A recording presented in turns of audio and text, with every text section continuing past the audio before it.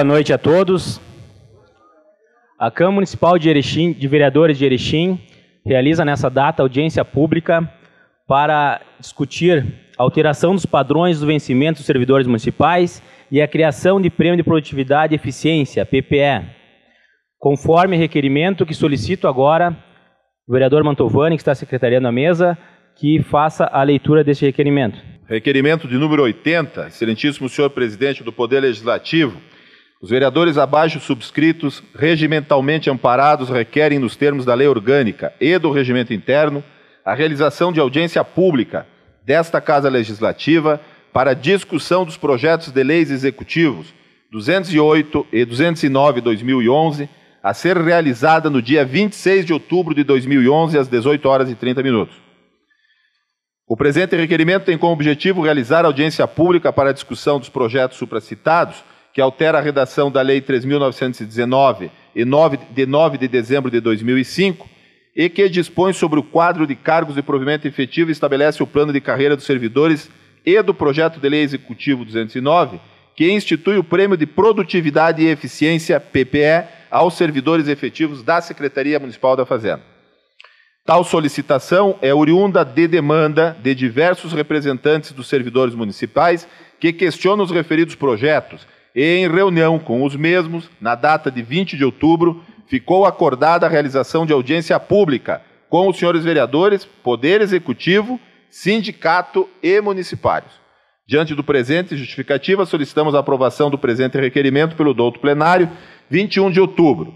O requerimento foi subscrito por todos os vereadores, sendo eles César Augusto Caldar, Carlos Antônio Zanini, José Rodolfo Mantovani, Marcelo de Moliner, Vânia Isabel Ismael Tumiola, Jaime Basso, Sérgio Alves Bento, José da Cruz, Lucas Roberto Falina e Hernani Mário Coelho Melo. Lido, senhor presidente. Obrigado, vereador. Eu gostaria de saber se tem uh, alguém aqui representando o Executivo Municipal. Alguém representando o sindicato? CIMI? Bom, solicito então o ofício, uh, vereador Mantovani, que leia o ofício enviado pela vice-prefeita em exercício, solicitando a retirada dos dois projetos. Excelentíssimo vereador Marcelo de Moliner, presidente do Poder Legislativo, assunto retirada dos projetos de lei 208 e 209 2011. Senhor presidente, solicitamos a retirada do projeto de lei 208, que altera a redação da lei 3919 de dezembro de 2005, que dispõe sobre o quadro de cargos de provimento efetivo e estabelece o plano de carreira dos servidores, e do projeto de lei número 209, que institui o Prêmio de Produtividade e Eficiência aos servidores efetivos da Secretaria Municipal da Fazenda. A presente solicitação se faz necessária frente as manifestações ocorridas dentre as categorias funcionais em razão de ambos os projetos apresentados, sendo que as propostas serão novamente debatidas e explicitadas no âmbito da administração municipal, juntamente com o Sindicato dos Municipários de Erechim, para o fim de eventuais esclarecimentos que se fizerem necessários.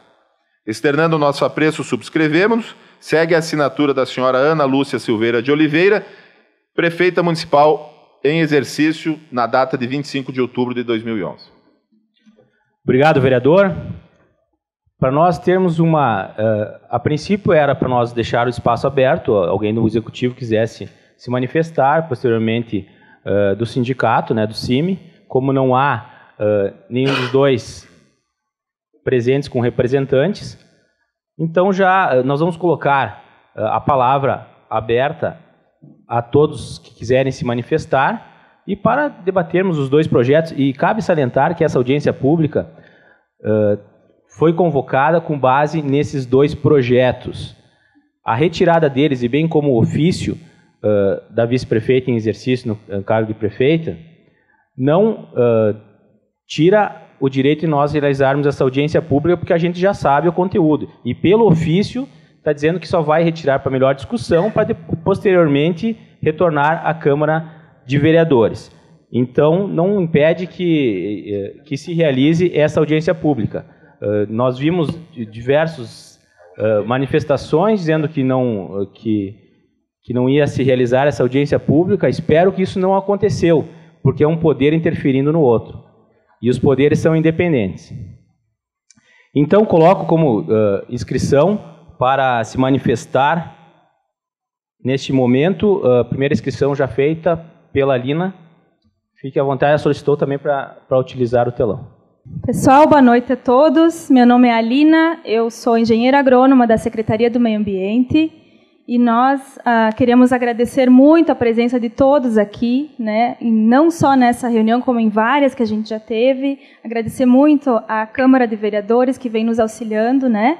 E a nossa intenção aqui não é somente falar desses dois projetos de lei que indignaram o funcionalismo, e sim falar de uma coisa muito maior que é o plano de carreira do município.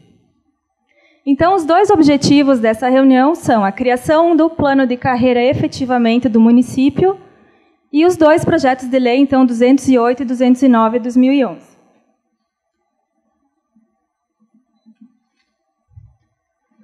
A pior forma de desigualdade é tentar fazer duas coisas iguais serem diferentes. Então, pessoal, baseado, a gente se baseou muito em legislação, né? Então, baseado na Constituição Federal, é, o artigo 5 então fala que todos são iguais perante a lei, né? O artigo amplamente conhecido por todos. Então, é baseado nisso que a gente vai fazer as nossas explanações. O artigo 39, então, fala da competência dos municípios e que é, a União, os Estados, Distrito Federal e os municípios instituirão um regime jurídico único e planos de carreira para os servidores da administração pública direta.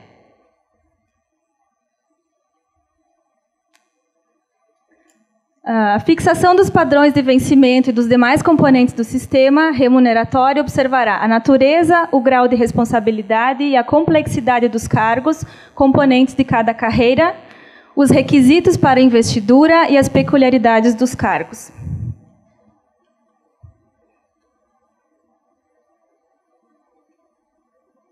Então, alguns conceitos básicos que a gente precisa saber para poder estar tá entendendo o que, que é o plano de carreira nessa noite. Então, são uh, igualdade de condições, é o que a gente fala. Então, isonomia, no dicionário, se vocês forem pegar, isonomia é, é os que são governados pelas mesmas leis. Né? Temos igualdade civil e política e igualdade perante a lei. A isonomia salarial, então, é aquele servidor que exerce mesma função, tem atribuições, e então ele deve ser remunerado de forma igual. Para que a isonomia seja efetivada, há necessidade de implantação de um plano de carreira condizente com a realidade do município. Então, um pouco do histórico do que a gente vem vivenciando. Né? Para quem tem um pouco mais de três anos de prefeitura, sabe é, como, é, como é difícil né? e como a gente vem lutando há tantos anos para ter alguns direitos. Então, ainda nós não temos um plano de carreira. A gente tem alguns benefícios, que é uma anuidade, um, né, uma mudança de classe, mas a gente não tem efetivamente um plano de carreira. Então, pessoal, não é uma discussão política como tem aparecido na mídia, que o nosso movimento tem cunho político, não é nada disso, porque quem tem um pouco mais de três anos de prefeitura sabe é, que há muitos anos vem se fazendo esse tipo de distinção salarial, distinção entre categorias. Então, infelizmente, com o advindo desses dois projetos de lei, foi que o pessoal se revoltou mesmo, e aí agora a gente, nós queremos, nós estamos exigindo um plano de carreira. Então, alguns exemplos das inconsistências que existem no município até hoje. Visitadores do programa Primeira Infância Melhor. O concurso exigiu a necessidade de cursos superiores ao magistério, entretanto, existem no município outros cargos que exigem o mesmo nível de escolaridade com padrão salarial superior. Auxiliar executivo e auxiliar de assistente social. Cargos em extinção exercem funções semelhantes aos do agente executivo especializado, entretanto, passam para os respectivos padrões 6 e 7, com valores salariais inferiores ao padrão 11, que é do agente executivo especializado. Motoristas de veículo leve. Conforme o projeto de lei 208, os motoristas de veículo leve passam ao padrão 8 e os demais, que são os motoristas de caminhão e transporte escolar, ao padrão 9 sendo que os primeiros, os últimos mantêm vantagens financeiras maiores que os primeiros, né? Então, É o pessoal do padrão 9 ganha hora equipamento e o pessoal do padrão 8 que transporta pessoas, vidas, que pega trânsito, que está e não, não tem direito a, a ganhar essa hora equipamento. Agente executivo especializado. Esse cargo possui em suas atribuições a execução e coordenação de tarefas de apoio técnico-administrativo e, em muitas situações, exercem atividades que requerem responsabilidade e dedicação extrema pela reduzida quantidade de funcionários. Arquitetos, engenheiros e demais servidores que emitem a ART. Para quem não sabe, a RT é a anotação de responsabilidade técnica. Qualquer obra que seja feita tem que vir acompanhada de um documento assinado pelo profissional que está realizando aquela obra. Então, essas categorias eh, são as únicas que, que emitem né, essa anotação de responsabilidade técnica. E hoje, eh, não só os arquitetos e os engenheiros, como os, os outros níveis nível superior, eles recebem dois padrões a menos do que os advogados, que em 2004 foi feita a lei. Então, eles estariam passando hoje para o padrão 21 fiscais. Então, de modo geral, existem vários segmentos de fiscalização na prefeitura. Então, respeitando-se as prerrogativas funcionais de cada fiscal, né, embora são específicas, mas elas são muito semelhantes e, em muitos casos, elas são idênticas. E têm todos o mesmo fim, que é a fiscalização. Então, são eles: o agente de fiscalização fazendário, hoje é padrão 16, o fiscal sanitário ambiental é padrão 14, agente fiscal de urbanismo, padrão 14, Agente fiscal de transporte de passageiros, padrão 7, com 36 horas, me parece. Agente fiscal de defesa do consumidor, padrão 14. Então, pessoal, o que é o plano de carreira? É um documento, então, que é passado pela Câmara de Vereadores, um documento oficial que prevê o crescimento profissional da pessoa dentro da empresa pública, no nosso caso, a prefeitura. Então, isso inclui gratificações, promoções e vários outros benefícios que são uh, fornecidos ao servidor pelo tempo de serviço. Existem critérios para que a pessoa receba né, tempo de serviço e o desempenho dentro da empresa. O plano de carreira é o caminho mais rápido para chegar ao sucesso profissional, ao mesmo tempo que, para a empresa, diminui riscos, diminui a rotatividade de funcionários, aumenta a produtividade, aumenta a qualidade dos serviços e os ganhos financeiros. O funcionário que tem um plano de carreira é mais focado nos seus objetivos. Ele age mais rápido, é mais dedicado, busca maior conhecimento, trabalha melhor em equipe e tem melhor qualidade. Quando um funcionário tem um plano de carreira e não recebe apoio da empresa, a empresa corre o risco de perdê-lo ou de ter um serviço de péssima qualidade. Então é muito importante que a empresa também tenha estrutura para acompanhar esse plano de carreira, né? Então o que não, não, a gente não, não quer mais tolerar e não quer mais que aconteça é alguns aumentos, alguns aumentos de padrões para alguns servidores, poucos, né, em detrimento dos demais. Então, aqui são as várias vantagens né, do plano de carreira: contribuir com o crescimento dos servidores, obter níveis mais elevados de qualidade e produtividade, motivar os servidores, né, encorajar na exploração de suas capacidades, ascensão profissional, integração na prefeitura, criar condições para que servidores atinjam seus objetivos profissionais em consonância com os objetivos da prefeitura, né? estabelecer trajetórias de carreira então, como é que se elabora esse plano? Se elabora esse plano hoje, modernamente falando, não só pensando no crescimento é, profissional, o crescimento financeiro, sempre pensando que existe uma pessoa e por trás da pessoa existe a família, existe a comunidade e existe ela própria, né? Então, sobre o projeto de lei 209, ele foi retirado, né? A gente sabe que foi retirado, mas a gente queria fazer algumas observações. Então, nós servidores achamos que esse projeto deveria ter sido aberto a todos os servidores, discutido amplamente com os servidores e não ser, ter sido dada essa, essa gratificação, vamos dizer assim, para meia dúzia de pessoas.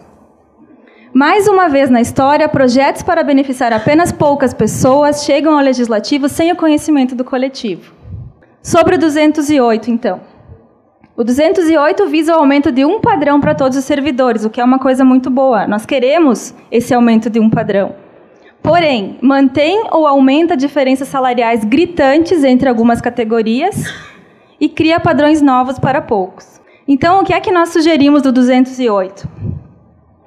Que sejam é, reclassificados né, os padrões, que é o que a gente está falando do, plano de carreira, né, para que todos os fiscais sejam fiscais, para que todos os agentes sejam agentes, os níveis superiores sejam nível superior, né, que todos possam receber, e aí as diferenças é que vêm depois, insalubridade, periculosidade, etc., isso conforme a lei. Né.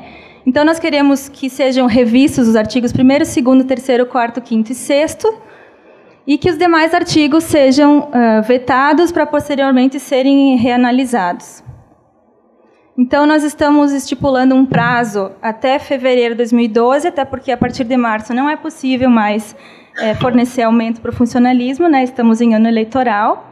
Portanto, de acordo então com o artigo 39 da Constituição Federal, nós queremos um plano de carreira que seja colocado em prática em até 90 dias, implantando assim a isonomia salarial. Então, baseado na avaliação da natureza, grau de responsabilidade, requisitos para investidura do cargo, complexidade e peculiaridade dos cargos, obedecendo princípios de legalidade, impessoalidade, publicidade e eficiência.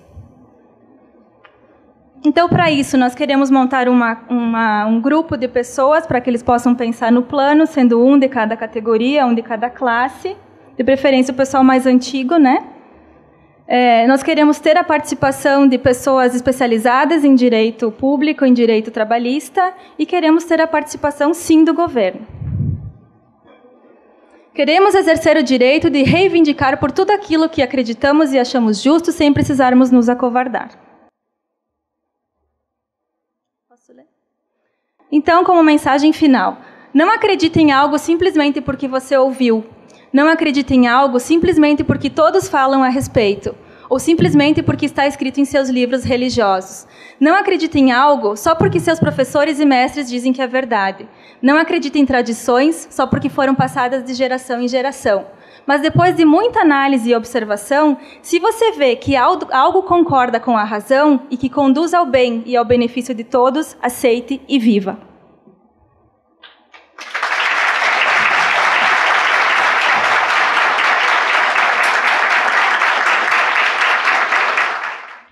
Bom, coloco à disposição se tem mais alguém que queira se manifestar. Inscrição. Boa noite a todos e a, e a todas. É, eu sou Cláudia Pires, assistente social da Secretaria de Segurança Pública. Faço parte dessa comissão que tem 54 pessoas de diversas categorias. É, como a Lina falou, deixou bem claro que nós não estamos excluindo o que nós queremos é a isonomia salarial, é igualdade para todos dentro de suas categorias. Uh, não estamos, em momento nenhum, uh, fazendo enfrentamento com o sindicato, com o CIMI, muito pelo contrário. Porém, uh, o CIMI, no, ao nosso ver, ele não tem mais é, moral para nos representar. Por que isso? Porque ele faz acordo tá, com o governo sem passar por nós. Uh, andou circulando um e-mail dizendo que houve acordo, que sentaram e conversaram com as categorias. Isso não é verdadeiro. Nós estivemos, sim, conversando com o CIMI, mas sentimos muita repulsa uh, por parte do sindicato. Ah, não só naquele momento como agora. E a gente vê nesse momento, inclusive com o e-mail passando em nome do sindicato, dizendo para não participarem, que não haverá mais a audiência, não haveria mais audiência pública. Ah, volto a dizer que não temos intenção em tomar lugar de ninguém, não temos intenção uh, de substituir o sindicato, nós queremos sim que ele se renove, que ele se fortaleça, para que ele possa, junto conosco, é, fazer essa luta pelo servidor, as nossas reivindicações, e com isso uh, nós possamos valorizar e qualificar os funcionários públicos. Uh, o que, é, por que, que foi criada essa comissão? Essa comissão foi criada justamente por isso. As pessoas estavam infelizes, estavam angustiadas e desmotivadas. E, sendo assim, nos procuraram. Uh, no início, nós uh, tínhamos uh, nos reunido para organizar uh, essa manifestação em relação ao padrão 18. Porque desde 98, hum, que foi o ano que eu entrei na prefeitura, acho que é, eu, eu, sou uma das mais antigas de, de concurso, uh, todos tinham, de nível superior, tinham o mesmo nível. Posteriormente, ah, conforme acordos individuais, é isso que a gente não tolera e não quer. Porque a gente quer que esse, esse acordo ele seja coletivo, conforme a categoria. Isso é isonomia salarial. Tá? Para que não fique essa disparidade, nós temos umas tabelas que a gente vê a diferença. É ilegal? Não é. A lei não é ilegal, ela dá um percentual nesse reenquadramento. Mas ele faz essa diferença tão grande exatamente porque os padrões estão muito diferenciados. Tem padrões que vão receber uh, um, um, aumento de 80 e pouco, de 60 e pouco, enquanto outros vão para um valor muito maior. Uh, nós queremos deixar muito claro que nós não temos absolutamente nada contra nossos colegas que são advogados e que querem uma nova nomenclatura como uh, procuradores. Não queremos. É, depois vocês terão tempo para falar, tá? Uh, nós não queremos, não, não temos nada contra nossos colegas uh, que são do controle interno ou de, de, outras categorias que aparecem lá como novo e que a gente não sabe quem é. Mas a gente questiona a lei também porque alguma, algumas categorias não aparecem, como merendeiros né, e outros profissionais. Por quê? Bom, a justificativa de alguns era de que o orçamento é, seria para o ano que vem, então não apareceria naquele momento na lei. Isso não é, é, não, não foi formalizado, isso foram comentários que a gente ouviu. Porém, o, é, o que, que nós, nós pensamos é, como comissão? Bom, de algumas categorias aparece, então nós estamos querendo é, essa renegociação e que ela seja urgente, não queremos de em hipótese nenhuma retirar direitos tá? que são do, do, dos funcionários, como, por exemplo, andaram hoje mesmo em alguns setores, a gente sabe, né? E quem quiser colocar, porque, como a gente colocou ali na, na, no nosso textinho, a gente não pode falar o que a gente não ouviu, eu falo do que eu sei, do que eu vi e do que eu passei. Bom, ah, andaram dizendo ah, que nós estávamos, a comissão estaria contra Uh, o pessoal de parque, do, do, do, parque de máquinas. Não é verdade, muito pelo contrário. A gente viu até o salário do, do borracheiro, que é vergonhoso. Não temos absolutamente nada contra. Tanto é que é por isso que nós estamos aqui. Não sei quem não está, porque a gente não pode falar. Né? Mas uh, nós queremos sim que eles continuem ganhando a hora caminhão, a hora não sei o que lá, porém que os nossos colegas que também são motoristas, cheguem ao padrão deles. Isso é isonomia.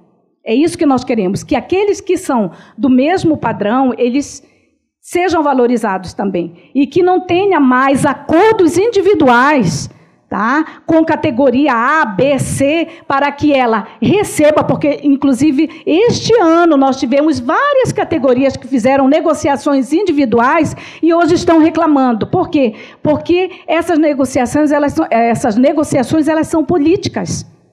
Elas não fortalecem em nada e nem acrescentam na vida do funcionalismo. Hoje nós temos funcionários desmotivados, é, sem vontade de trabalhar, revoltados e isso é muito grave. Sabemos que ah, o nosso prefeito municipal, com toda certeza, vai nos ouvir. Ele estava viajando, eu soube que ele é, retornou agora há pouco tempo.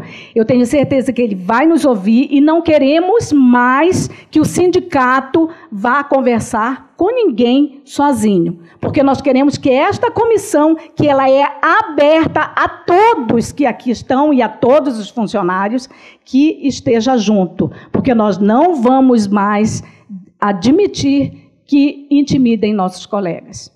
Muito obrigada.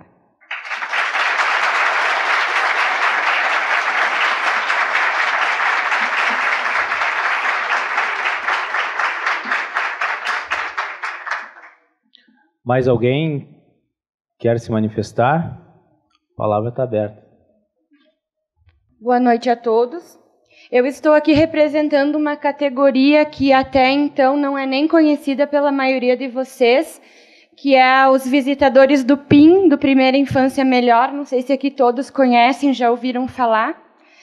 A gente, eu e minhas colegas, estamos aqui para reivindicar, então, o só, seguinte. Só o teu nome. Elisa. Elisa. Assim, o seguinte, nós, uh, no concurso público, nos foi exigido escolaridade nível magistério ou ensino superior em andamento, em, várias, em vários, uh, vários cursos em andamento, enfim. E nosso salário ele é inferior ao de muitas pessoas que têm ensino fundamental. Então, a gente também gostaria, de, gostaria dessa isonomia salarial, nós gostaríamos também de estarmos enquadrados dentro desses padrões, porque a gente recebeu a folha, o nosso nome nem consta na folha de aumento ali.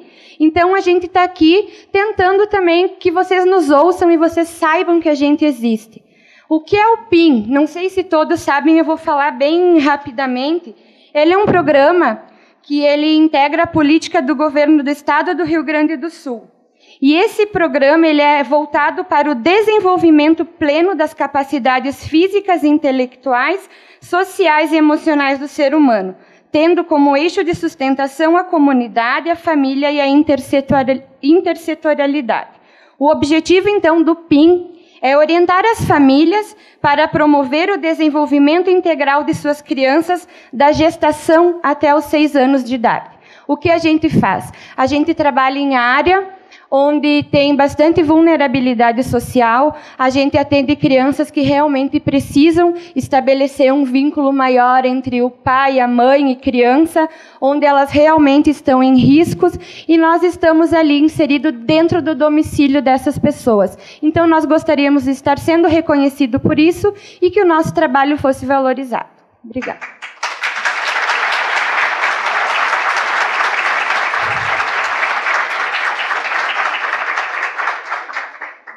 Mais alguém?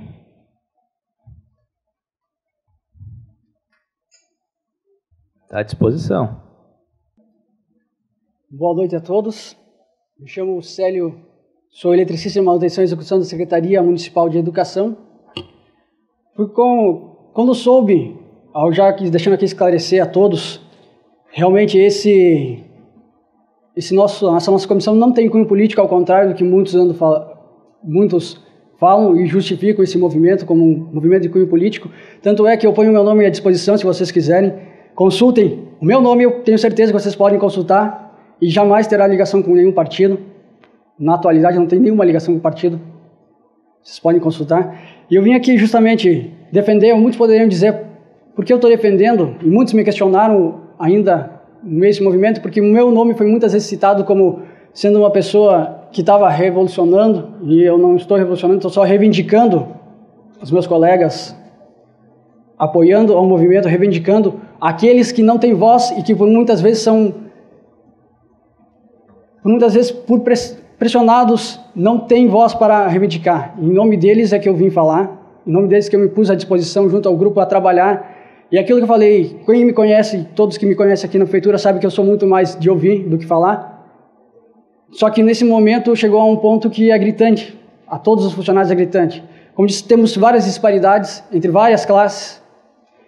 E eu vim junto para com a comissão convocar os meus colegas que aqui me conhecem para que nós nos unimos, para que seja um plano justo, que se tenha a prefeitura, a administração, juntamente com o CIMI, que foi o que nos puseram, que houveram reuniões. Eu discordo e conversando com, com muitos dos nossos colegas, os senhores vão saber que realmente é verdade, não houve essas reuniões, essas reuniões foram com pequenos grupos isolados e que foram procurar o CIMI para defender suas categorias. É isso que nós queremos, que parem esse movimento de particularidade, que o CIMI tenha coragem de defender todos com igualdade e isonomia, que é o que está faltando, uma igualdade e isonomia para a defesa. Por isso nós propomos esse documento, que eu gostaria de todos os presentes, que é o documento que nós estamos pedindo, reivindicando ao senhor prefeito, como aos demais vereadores, para que analisem e que juntos nós possamos conversar junto com o CIMI, com a comissão, que é essa comissão que hoje se faz presente para debater e que teve a coragem de vir aqui debater com os funcionários, esclarecer a nossa visão, porque eu creio que faltou para muitos coragem para vir aqui. É uma coisa simples, vir aqui conversar, explicar quais foram os motivos, por que o projeto foi, como foi feito. Eu tive uma explicação pessoal, particular, me deram uma explicação para mim particularmente, mas eu gostaria que todos os meus colegas também ouvissem a mesma explicação que eu tive.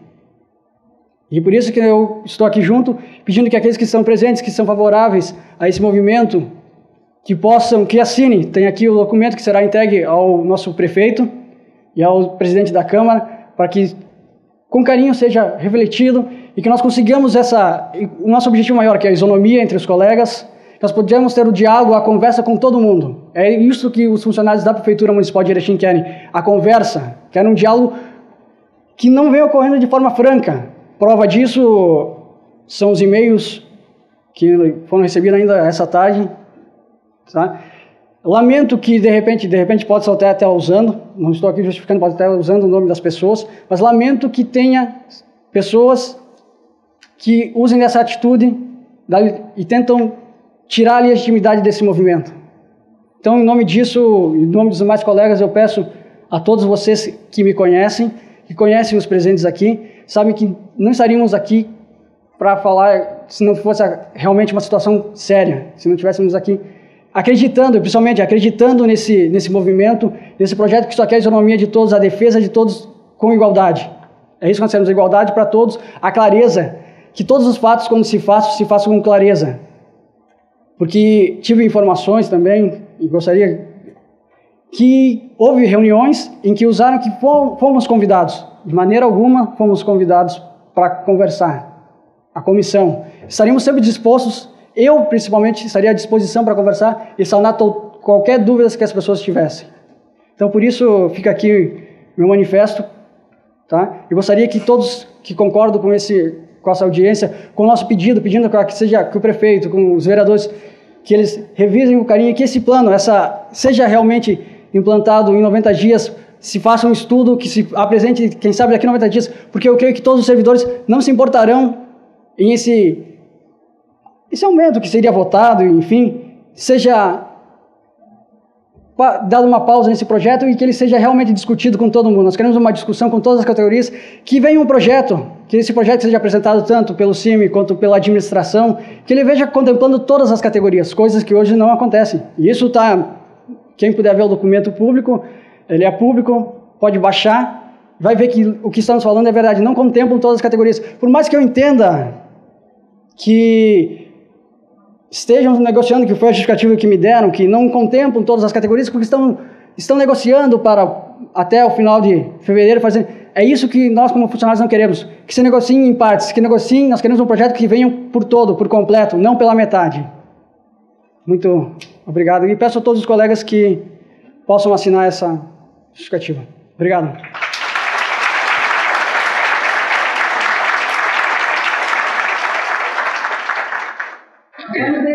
documentação ali na frente e quem for favorável, ou se vocês acharem que a gente deve passar para vocês darem uma olhada, tá? Vocês olham, é, é o mesmo conteúdo que está uh, ah, naquele material que a Nina é, forneceu ali para vocês visualizarem. Então, quem for favorável, por favor, assine, nós vamos deixar ali na frente, tá? Mais alguém que queira se manifestar? Então,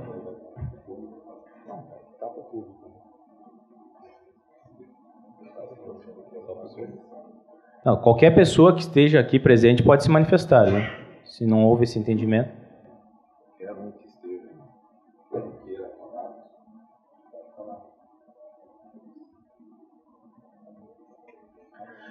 Se não tem mais ninguém que queira se manifestar, então eu abro a palavra aos vereadores.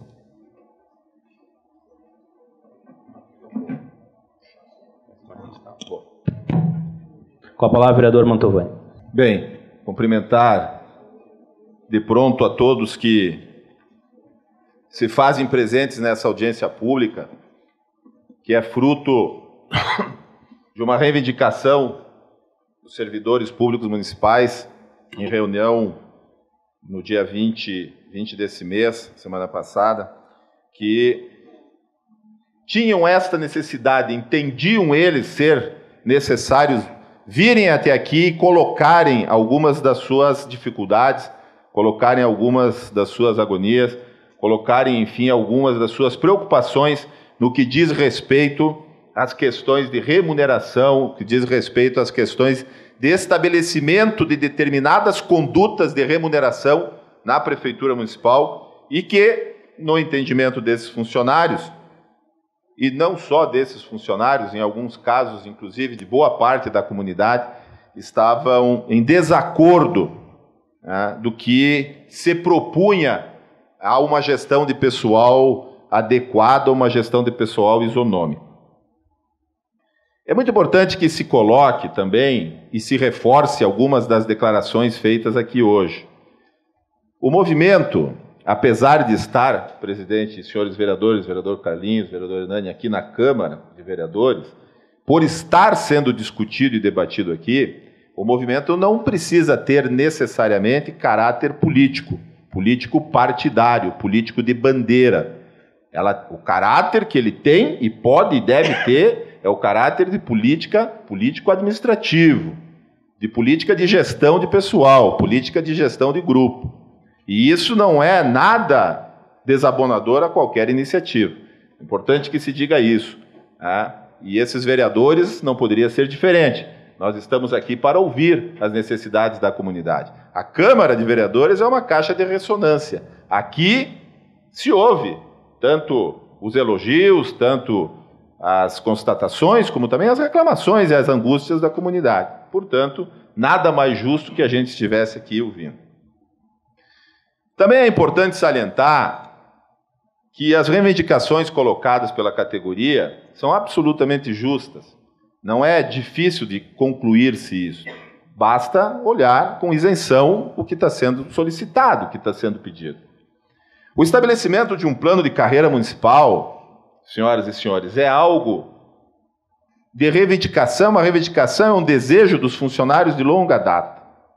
Não é uma reivindicação dos funcionários especificamente do governo atual. É importante que se diga isso, que se tenha a isenção de dizer isso. É um desejo, é uma necessidade imperiosa que vem pelos tempos. Presidente, Erechim tem 93 anos. Não tem um plano de carreira. Ou seja, muitos passaram pela gestão do município e por algum motivo não o puderam fazer. Temos agora uma gestão no município que tem que responder por isso, precisa pensar por isso.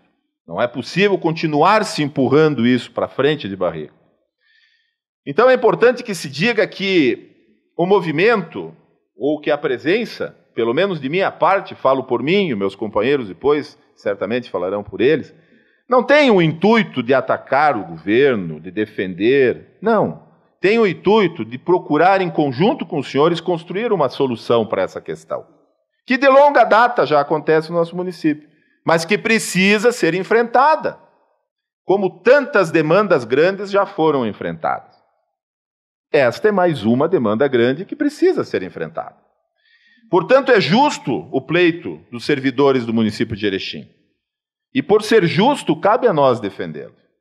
Nós precisamos sim que o Poder Executivo, é, em conjunto com a representatividade real dos funcionários dessa casa, dessa, desse município, da prefeitura, é, construam esse plano de, de carreira municipal. De minha parte, não há dúvida nenhuma, sou parceiro e apoiador desse movimento. E ao, ao reconhecer que este é um pedido que de longa data vem tramitando na casa, me parece que com isso me isento de qualquer manobra, de qualquer eventual entendimento político. Porque reconheço que isto é algo que precisa ser feito e que já deveria ter sido iniciada a sua aplicação e que tem que ser enfrentado agora, não há outra alternativa. Também quero fazer uma manifestação a respeito da questão das representatividades. Senhor presidente, é, hoje, durante o dia, em especial no período da tarde, o telefone do meu gabinete não parou. Foram dezenas de telefonemas dando conta de pressão de chefias, pressão de, de, de, de, enfim, de pessoas com mando dentro do governo, pressionando, assustando, ameaçando funcionários para que não viessem até aqui acompanhar essa audiência pública. Foram dezenas de telefonemas para o meu gabinete, de pessoas que se identificaram, não é anônimo, pessoas que disseram: Eu sou fulano de tal, trabalho em tal lugar, vereador, estou lhe dizendo isso. inclusive com gravações, que autorizaram a fazer as gravações. E-mails chegando de diversos setores do governo, dando conta de que a audiência pública não aconteceria, que não era para comparecer. Como tenho aqui em minhas mãos vários e-mails. Me surpreendeu de forma negativa, vereadores. O CIMI, o sindicato que deveria proteger, que deveria estar ao lado, caminhando lado a lado dos servidores, disparando e-mails para os setores do, da administração pública, informando que não há mais audiência pública, que não era para vir. Um absurdo essa questão da representatividade. E não estar aqui presente hoje, me parece que assina um atestado de realmente descaso. No mínimo, por favor, não. Não, eu gostaria de pedir que manifestações não fossem feitas para a parte nenhuma, para que não haja. Mas é uma manifestação do CIMI, infelizmente, de descaso com a categoria que deveria representar. Eu não tenho outra opinião e outra posição a dar. E nunca me furtei de dar as, as minhas opiniões, o meu pensamento, as minhas reflexões a respeito de nada, como inclusive fiz a respeito dos dois projetos, publicamente, e que é de conhecimento de todos. E quero, por fim, cumprimentar a todos que tiveram a coragem de efetivamente estar aqui presentes, tá? lutando pelo seu, para estabelecer um direito lutando para estabelecer uma negociação. E isso é extremamente positivo, porque todos aqui estão desarmados. As pessoas querem estabelecer o diálogo e construir junto com o governo de Erechim. O que é importante, é salutar e, de minha parte, terão todo e total apoio. Parabéns a todos vocês e quero recomendar, se me permitem usar a palavra recomendar, né, que esse movimento continue, unido, forte, coeso, mas que continue assim, organizado, pacífico e pautado pela verdade. Nada mais do que a verdade. Que assim eu não tenho dúvida que nós vamos chegar a um bom termo, que é o que todos aqui esperam. Obrigado, vereador. Só para deixar bem claro que sexta-feira uh, recebi a visita da presidente do CIMI, onde foi me entregue uh, uma nota de repúdio e de esclarecimento, no qual ela foi convidada e, e, e, falou que se faria presente hoje na audiência pública e concordou com a audiência pública também. Não está aqui, né? Não, não, não está presente. Mas foi, ela foi convidada, sim, em nome da presidente, só para deixar claro. Uh, bom, eu acho que está bem bem claro a, a, os objetivos uh, das pessoas que estão aqui presentes. E nós, como poder público, temos que abrir essa casa justamente é uma casa de discussão, Exato. de vermos, não, ninguém é, é, a favor ou contra. Nós estamos agora, neste momento, analisando as propostas, analisando uh, o que os servidores pensam e se deixou muito bem claro nas explanações que, que tiveram aqui hoje, dentro do Poder Legislativo, o posicionamento de grande parte dos servidores públicos municipal. Acredito também que, por parte do Poder Executivo, uh, já se deu uh, um sinal na retirada desses projetos que ele quer conversar e quer negociar. Se, uh, se talvez. Tenho certeza que foi com a maior das boas intenções na hora de apresentar esses projetos. houve um recuo do, do, governo, do Poder Executivo Municipal e, e, já surtiu efeito, então, o movimento de vocês.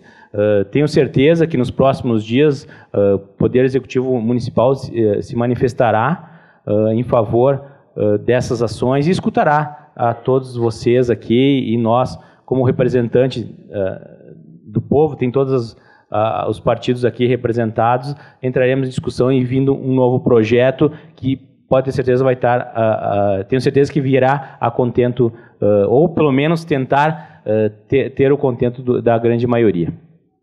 Vereador Carlinhos. Presidente Marcelo, vereador Mantovani, quero dar uma boa noite a todos que estão aqui presentes nesta casa. Parabenizar aqui algumas palavras colocadas pelo Célio. Conheço, tive a oportunidade de trabalhar juntamente ao Parque de Máquinas. Sei que é muito mais de ouvir do que falar, mas fez umas colocações muito bem feita na nossa tribuna e falar a todos vocês que estão aqui nessa noite que este vereador também é parceiro de vocês. Eu acho que ninguém de vocês que está aqui ou está trabalhando na casa hoje no município é por uma questão política, ou é por indicação, ou é por favor a alguém. Eu acho que se vocês todos estão trabalhando no município, é pela capacidade de cada um de vocês. Vocês brigaram, vocês estudaram e vocês conquistaram esse espaço. Então eu acho que deve ser respeitado. Então quero falar em nome deste vereador. Vamos sim, vamos ouvir, vamos esperar voltar esse projeto do governo, a qual foi retirado ontem. E, e com certeza iremos optar para que seja o que seja melhor para todos, num conjunto total, não para apenas meia dúzia de funcionários. Eu acho que todos têm o direito e nós estamos aí para ouvir vocês. A casa está aberta e com certeza iremos aprovar o que for de melhor. E aproveitando o espaço aqui também, quero aproveitar para, para parabenizar cada um de vocês pelo dia 28, sexta-feira, que é o dia do funcionário público. Ah, um parabéns de coração a todos vocês, até porque falo com alegria, tive o prazer e a alegria de trabalhar oito anos junto à prefeitura, a qual conheço a maioria de vocês que estão aqui hoje, e é com muito orgulho. Parabéns a todos vocês, uma boa noite.